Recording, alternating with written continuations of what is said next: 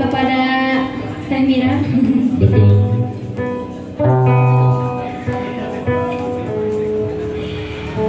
Yang Alhamdulillah sekarang sudah menjadi pasangan Betul suami sekali. istri. Betul sekali.